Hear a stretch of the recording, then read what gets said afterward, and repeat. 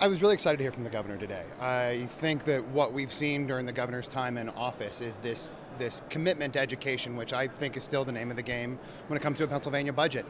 Now, he talked about the fact that he's increased jobs in Pennsylvania, he's increased uh, funding for human services in Pennsylvania, but I think the most important thing that we, we heard today is that he renewed his commitment to education. Um, I, I think what we heard today was an increase of almost $225 million, a quarter of a billion dollar increase in education. Um, $100 million to basic education, $40 million to pre-K. Um, this is a governor that's already doubled the number of children eligible for pre-K in Pennsylvania, and so I'm anxious to work with him to get this budget passed. I think this is the exact right budget for Pennsylvania.